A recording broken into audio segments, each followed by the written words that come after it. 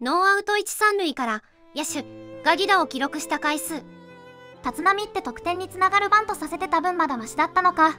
安倍監督、笑い頼むから普通に野球してくれ。年に一度のプレーを2度もやるとは、ここで歴史を変えるか。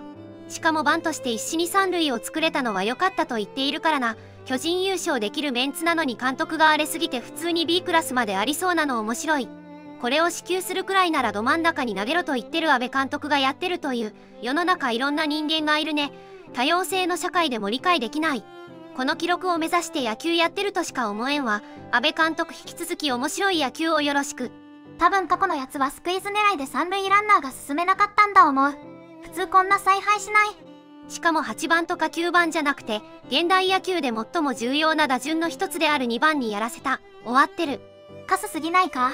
こんなことで歴史塗り返してほしくないんだが数年に1回ですら意外に多いんやな。と思ったら今年は異次元の監督がいてくさ。異次元今までとは比べもんになってね。3年に1回出るかどうかの記録を今年2回も達成したのかさすが名称阿部。ご視聴ありがとうございました。